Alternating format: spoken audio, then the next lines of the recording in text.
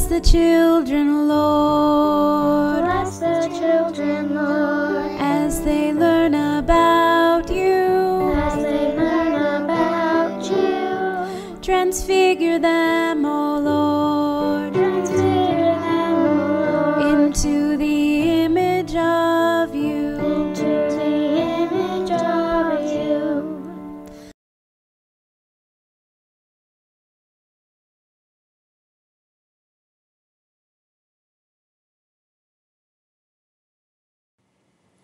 Hi everyone, Miss Vicky here, and welcome back.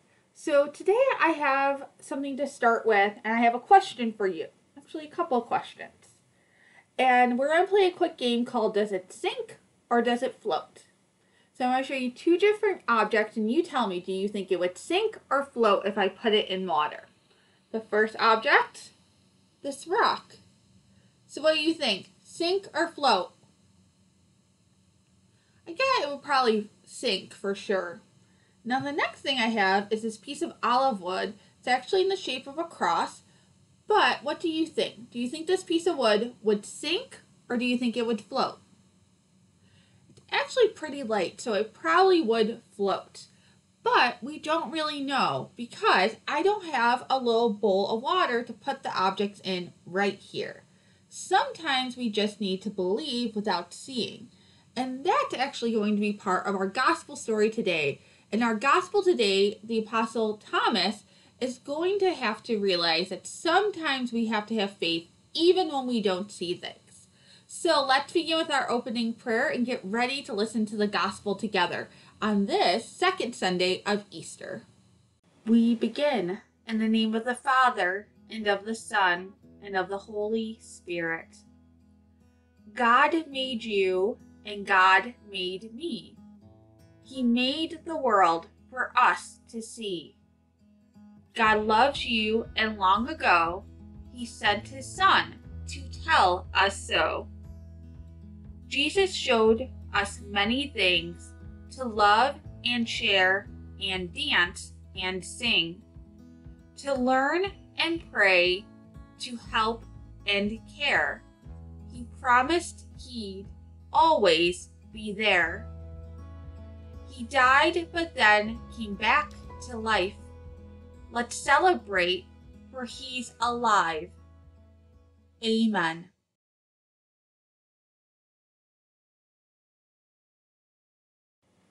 So, if you can remember back to last week's gospel on Easter, it was all about how Peter and John went to the empty tomb. And so we know on Easter Sunday that Jesus rose, but they actually didn't see Jesus himself. And so that's the big question now. What would you do if you saw Jesus after he rose from the dead? That's the question that we're going to look into during today's gospel. So let's listen together and see what happens next in our journey of Easter. Alleluia,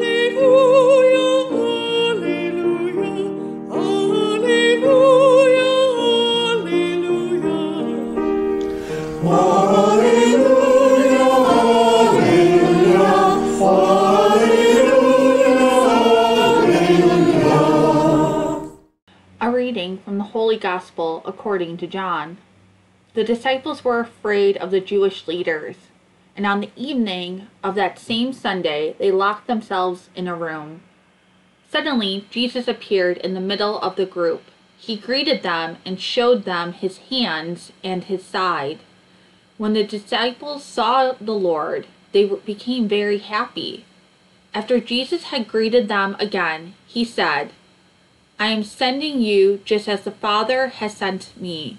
Then he breathed on them and said, Receive the Holy Spirit. If you forgive anyone's sins, they will be forgiven. But if you do, don't forgive their sins, they will not be forgiven.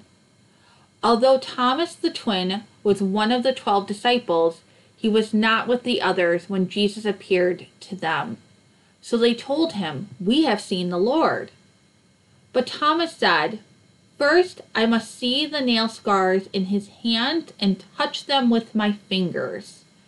I must put my hand where the spear went into his side. I won't believe until unless I do this. A week later, the disciples were together again. This time, Thomas was with them. Jesus came in while the doors were still locked and stood in the middle of the group. He greeted his disciples and said to Thomas, Put your finger here and look at my hands. Put your hand into my side. Stop doubting and have faith. Thomas replied, You are my God and my Lord. And Jesus said, Thomas, do you have faith because you have seen me? The people who have faith in me without seeing me are the ones who are really blessed. The Gospel of the Lord. You know, a lot of times we'll say, I'll believe it when I see it. Have you ever heard that expression? Maybe your parents have said it. But today's gospel is a really big reminder that sometimes in faith, it isn't, I'll believe it when I see it, but rather, I'll believe it even if I don't see it. It's that reminder that sometimes faith means believing and knowing something's true even when we can't see it. Take the season we're celebrating right now, Easter, right? Now, I didn't see Jesus rise from the dead, and neither did you. It happened over 2,000 years ago. But we know that it's true. We know because we have the account. We know because the people who saw it and saw him afterwards did so much to spread that word that we just know it has to be true. And we take it in in faith that Jesus rose from the dead for us. Another example might be, and this one sometimes is harder, is that we know because God loves us so much that each and every one of us is made in his image and likeness because he loves us so much. Now, sometimes though, someone might do something that seems not so nice. Maybe you've had someone at school not be nice to you, or maybe your sister and brother have done something that you don't really agree with. Now, even though they do something bad, we know that God still loves them and they're still made in the image and likeness of God. So that's why we're called to forgive people. It's why we're called to recognize when we do something wrong and try to do something better because we know truly that we are all meant to be good and faithful servants to the Lord. Can you think of anything else that we just know to be true. That even though we don't see it, we know it's true. You know, one of my favorite ones is that God created the world. I look around in this world and I just know all this beauty is because God created it for us. How amazing is that? But we didn't see Him create it, we just know. And sometimes we know it just in our bones, right? We just know it in our hearts and in our souls, that part of us that God also created that can just connect with Him. And that's why prayer is so important. It gives us the ability to connect with Him. So sometimes in faith, like I said, it is all about believing without seeing. And that's a lesson that Thomas learned today when he saw Jesus. Now, as we're getting ready for a profession in faith, just think about that. All the things we're about to say that I believe, that we truly believe this, are all things that maybe we haven't seen, but our faith makes it so that we just know in our hearts and our souls that it's true. So now let's move on to our profession of faith.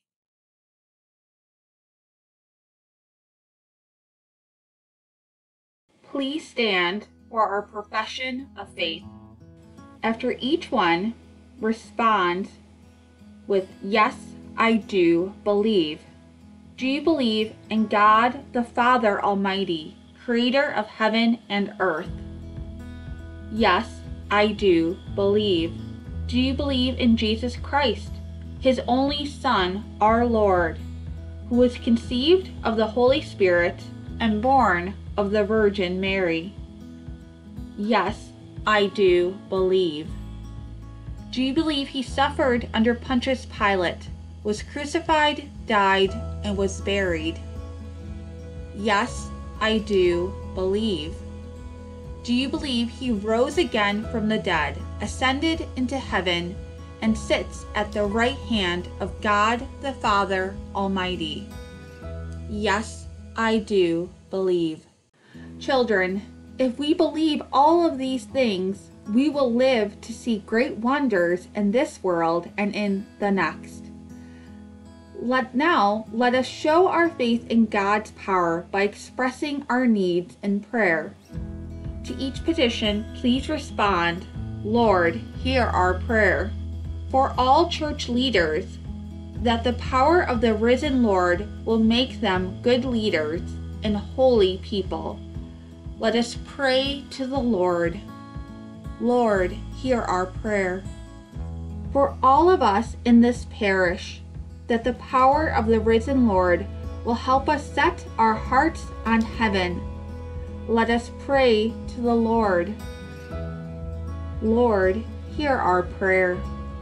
For all the people who live in the darkness of sin, that the power of the risen Lord will raise them to the light. Lord, hear our prayer. And now, what or who would you like to pray for today?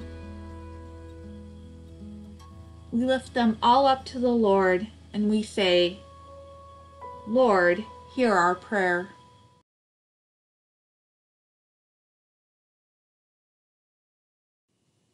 Thanks so much for joining me today for our children's liturgy virtually.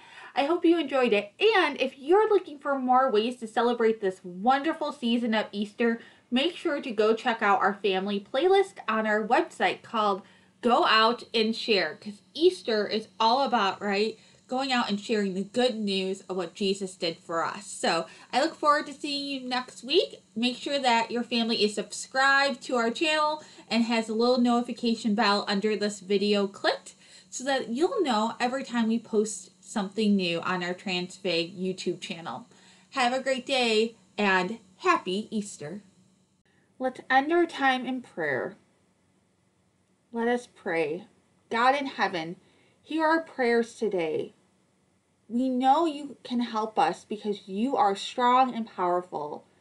We know you will help us because you are loving and kind. All praise and honor to you through Christ our Lord. Amen. Bless us all, O Lord, Bless us all, O Lord, as we listen to you. as we listen to you. Transfigure us, O Lord.